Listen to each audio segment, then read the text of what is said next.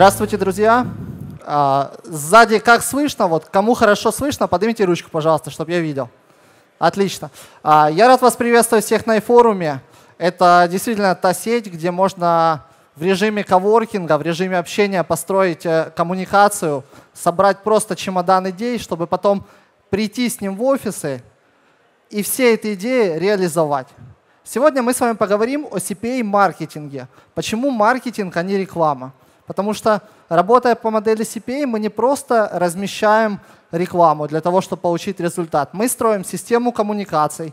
И эта система коммуникаций потом должна принести нам осознанный бизнес, какой-то финансовый результат. То есть мы строим такой маленький мирок коммуникаций с CPA-партнерами, с блэкджеком и плюшками. Вот. И, и потом как бы от этого сотрудничества мы хотим увидеть осязаемый, правильный, выгодный вам результат. А, людей, в принципе, много собралось. Скажите, пожалуйста, кто до сих пор не верит, что CPA-маркетинг э, работает? Вот кто не верит? Отлично, такие люди есть, хорошо. А, давайте мы вот прямо сейчас, прямо с вами запустим просто а, небольшую партнерочку. Внимание, девушки, есть бутылочка Асти Мартини. Кто хочет бутылочку Асти Мартини? Отлично. Смотрите, я запускаю офер. Я предлагаю бутылочку Асти Мартини для одной из девушек. А теперь, парни, скажите, пожалуйста, кто хочет, чтобы его сейчас вот абсолютно бесплатно поцеловала девушка? Ну, ручки выше, не стесняйтесь, весна все-таки на дворе. Вот. А, и у нас есть парень, который хочет, чтобы его поцеловала девушка. Офер заключается в том, Первая девушка, которая целует парня, получает бутылку Асти Мартини. Поехали! Вот. А, девушка, возьмите, это ваше. Я вам сейчас пакетик еще к нему дам. А, то есть вы понимаете, что партнерский маркетинг работает. И как он работает? Девушка получила бутылочку мартини. Парень получил поцелуй. А, а я просто отдал бутылочку мартини за то, чтобы привлечь ваше дополнительное внимание. Теперь все-таки о CPA поговорим, как это работает в интернете. А, тяжело, оп, кликер не работает, а нет, работает. Вот, а, все-таки э, нельзя говорить о CPA абстрактно. Нужно всегда показать какой-то пример. И я покажу этот пример на примере, пример на примере э, нашей компании Moneyvale. То есть вы увидите черный ящик, который сейчас вот транслируется в видео. Нажмите, пожалуйста, play. Буквально 15 секунд о том, как работает наш сервіс Moneyvale.ua. Терміново необхідні гроші. Отримайте кредит онлайн на Moneyveo.ua. Гроші будуть на вашому рахунку за 15 хвилин. Вам потрібен лише інтернет та банківська картка. Moneyveo.ua. Швидка фінансова допомога. То есть, вроде бы вот такая простая идея, а, как говорит Олег Тиньков, смузи, коворкинги, все дела. Но к чему мы пришли за год работы с этой идеей? Ежемесячный оборот – десятки миллионов гривен. Вошли в топ-30 стартапов по версии Investment Day в 2014 году. И каждая шестая продажа осуществляется при помощи партнерского маркетинга. Кому будут полезны, в принципе, CPA-программы? Здесь все зависит не от товара, который вы продаете, не от компании, которую вы представляете. Тут все напрямую зависит только от вас. Один мой знакомый сказал, что нет full-time job и нет part-time job, но есть full hard job и part hard job. То есть независимо от того, сколько времени вы уделяете работе, если вы уделяете ей все сердце, у вас все получится. Если вы не готовы уделять ей все свое внимание, все свое сердце, то у вас ну, не получится все так хорошо. И точно так же эта система работает и наоборот. То есть менеджерам, которые считают, вот сидят на ставке, считают, что от них ничего не зависит, конечно, у них никогда ничего не получится. Вот за 7 лет в маркетинге, ну, уже в принципе такой более-менее нормальный срок, я знал много людей. И вот некоторые из них говорили, от меня вот все равно ничего не зависит. Вот уже годы прошли, но, как ни странно, от этих людей до сих пор ничего не зависит. То есть вот, вот такая идея, которую я хочу, чтобы вы заложили в свою голову. Чем больше у вас мотивации, чем больше у вас вот этой энергии, с, с, на, направленной на созидание, тем большего вы сможете достичь. Давайте за, запустим небольшой вот тест на проактивность. У меня есть вот купюра в 500 гривен. Кто хочет 500 гривен? Блин, вот всегда есть люди, которые реально вот просто не могут руку поднять. Кто 500 гривен хочет? Бесплатно. Отлично. Смотрите, меняю 500 гривен на 200. На 200. Купюру в 500 на купюру в 200. Купюру в 200 меняю на купюру в 100, но уже не вам. Ребят, деньги раздаются просто на ваших глазах. Вы, оп, сотку на полтосик. Пожалуйста. Полтинник бесплатно отдаю. Ну, девушки уже уступили. Я вам, я вам еще потом дам. вот, то есть вы, вы увидели, что мотивация работает. Это, это, все, это все такие штуки, которые вот действительно работают. Спасибо большое. Вот видите, как хорошо. Пришел с шампанским, деньги раздал, и вам хорошо, и мне нормально повеселились. Вот. Теперь, теперь давайте про CPA все-таки. А, как запустить офер? Пер, первой вот отправной точкой нужно определиться, что для вас является ценностью, что для вас является той конверсией, за которую вы готовы заплатить деньги, и которая вот принесет вам финансовый результат. Потому что веб-мастера вам дадут определенное количество конверсий, они вам, например, не нужны были. Поэтому это, это вот та отправная точка, тот старт, с которого вам нужно начинать.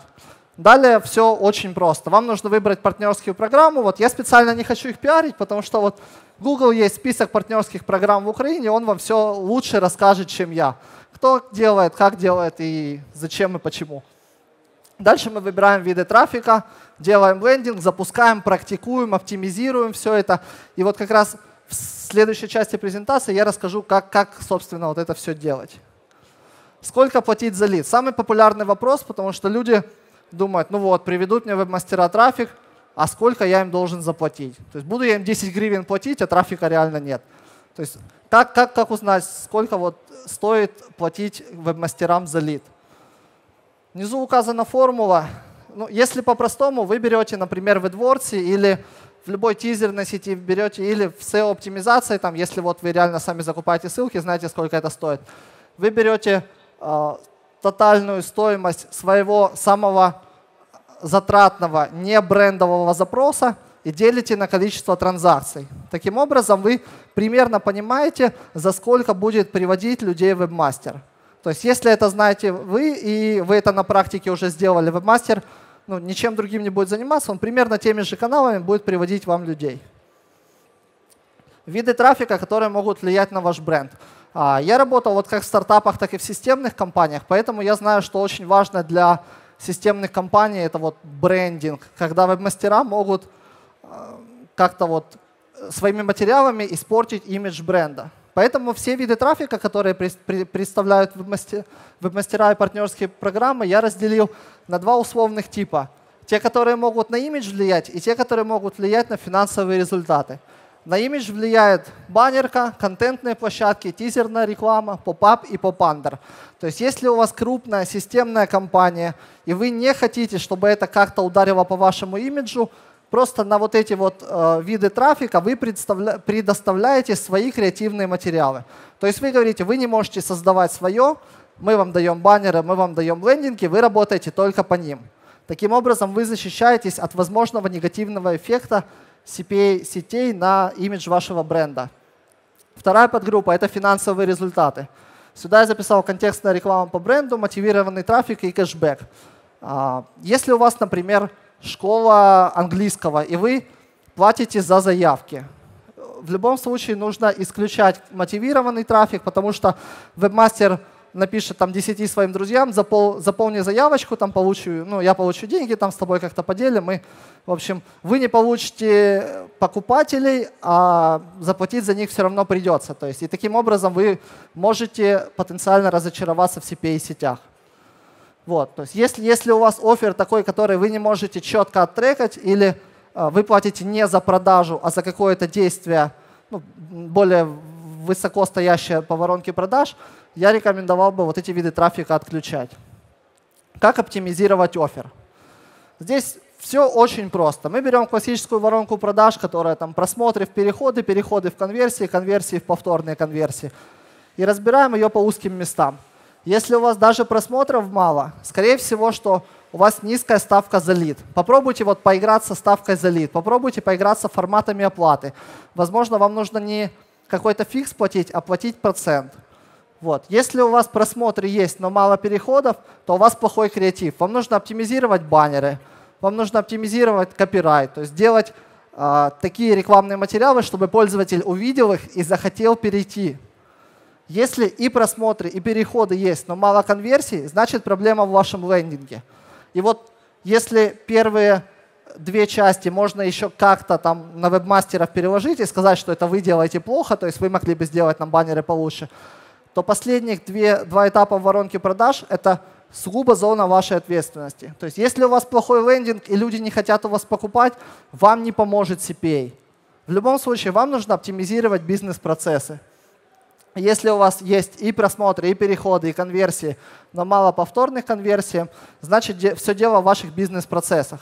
На самом деле очень часто сталкивался даже с крупными системными компаниями, которые делают первую продажу, но у них уже неохота покупать по новой.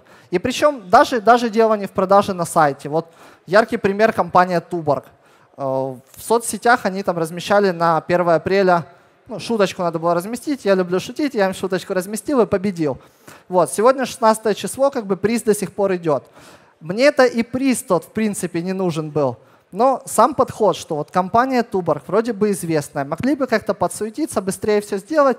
Вот, а на самом деле они вот получили негатив ну, на 2000 человек. Вот. Как хитрят вебы и партнерки. Самая, самая крутая тема, но на нее можно еще на самом деле 20 минут выделять. Но я расскажу вкратце, и потом, кстати, будет еще один сюрприз, самый главный, который вот позволит вам узнать больше. Вот, использование запрещенных видов трафика. То есть вы запрещаете мотивированный трафик или вы запрещаете контекст на бренд. Пока вы сидите на работе с 8 утра до 6 вечера, это все нормально, это все работает.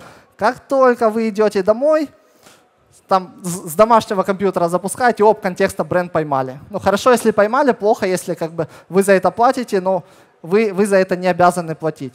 Следующая штука — это ремаркетинг по всему трафику. Сам по себе ремаркетинг ничего плохого не несет. Но если вебмастер приводит вам тысячу клиентов, а вы даете ему доступы на весь ваш трафик в 100 тысяч клиентов, естественно, он с этих 99 будет приводить вам дополнительных клиентов, брать за это деньги, хотя это ваши деньги, вы не должны за это платить ни в коем случае. Ну и третья штука — это куки-стаффинг. За куки-стаффинг вот я предлагаю почитать в интернете, потому что тема, с одной стороны, интересная, с другой стороны, тяжелая. Но э, я не уверен, что я просто могу вам сейчас рассказывать о JavaScript, которые там лежат на стороне клиента, на стороне сервера. Вот, поэтому просто вот куки-стаффинг, но вы у себя пометочку сделали, что если вы хотите запускать CPA, вам нужно обязательно об этом прочесть. Никогда не забывайте о лояльности. Вот в каждой презентации я об одном и том же говорю – Довольный клиент запомнит вас навсегда, посоветует друзьям и купит еще раз. Эта фраза, она просто стара как мир, она работает сейчас и завтра, когда э, мы будем переговариваться вот пальцами там с людьми, она будет тоже работать, потому что лояльность — это маркетинг вообще, это вот две, две, две части психологии. Это математика и психология. То есть есть какие-то математические данные, математический анализ вы знаете, но не знаете психологии, вот лояльность, CRM-системы, то у вас не получится полноценный маркетинг. У вас получится вот аналитика. И точно так же наоборот. Если вы знаете только психологическую составляющую, но не знаете цифры, то у вас получится гипотеза бесконечная, которую вы так и не примените в жизнь. У меня на сегодня все. И как раз вот обещал сам, самую интересную штучку. А, я вот минут 10-15 еще вот в этом углу зала буду находиться. Те, кто действительно проактивный, те, кто хочет запускать свои CPA-партнерки, вы можете просто оставить мне визиточку, и до воскресенья я обещаю прислать вам полный чек-лист, который вам расскажет о том, вот пошагово, как запустить интернет-проект. Мало того, я посмотрю на ваш бизнес, и я вам напишу, каких подводных камней следует избегать. Ну и в конце концов, родители просили меня сделать селфишечку. Я просто им отказать не могу. Так что вы, вы уже извините. На фоне ковра. Ковра нет, будем на фоне Ну, людей. на, на фоне 800 человек тоже хорошо. Это Вполне. круче, круче, чем на вручении Оскара. Так, проверочка. А если вы на визитке Кости напишите номер кредитной карты, банковской карты, то он еще рассмотрит возможность выдачи кредита. Кстати, да, мы вам это к скорингу добавим какие-то бонусные пункты. Так, ну ты пока представляй, я все запущу. Ну мы тебя, тебя ждем. Вот как обычно, знаете. Ладно, селфи-палку отменяем. Будем делать все старыми А, методами. знаешь, сейчас мода появилась новая, это селфи-обувь. Селфи-палка. Селфи-обувь. А, да, есть такая. Так, давайте помашем родителям, они все-таки это, меня воспитали таким, Ты понимаешь, есть. что тебе придется всех людей на фотографии отметить? Конечно, с радостью, с радостью все это сделаю. Так, и контрольный выстрел, и будем закругляться. Рукой помашите, пожалуйста.